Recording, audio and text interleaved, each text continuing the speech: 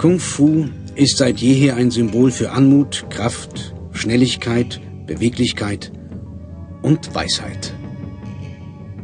Allerdings wurde der wahre Sinn dieser Kunst in den letzten Jahren häufig missverstanden.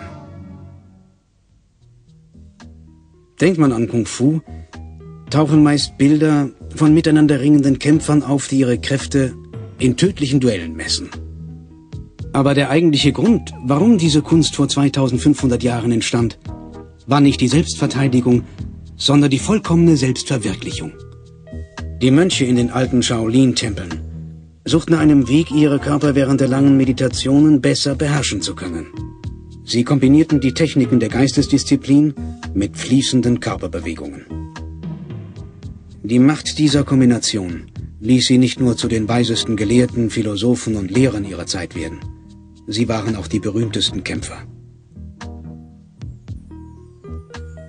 Weil viele von uns den ganzen Tag sitzen, wie die alten Shaolin-Mönche, haben unsere Körper ihre natürliche Kraft und Geschmeidigkeit verloren.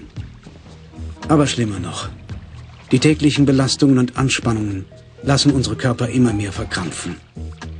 Aus Erfahrung weiß ich viel über Stress.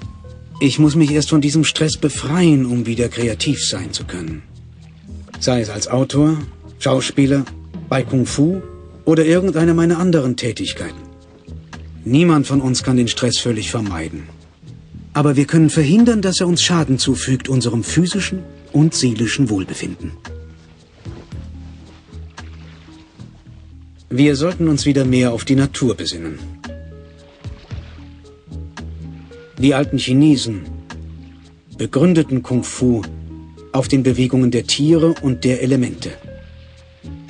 Sie entdeckten die Kraft des Bären, die Anmut der Katze und die Schnelligkeit der Schlange. Sie beobachteten, wie mühelos sich diese Tiere bewegen. Und indem sie sie nachahmten, vervollkommneten sie ihre Kraft, Balance und Koordination. So gewannen sie neue Einsichten in das Wesen der Natur.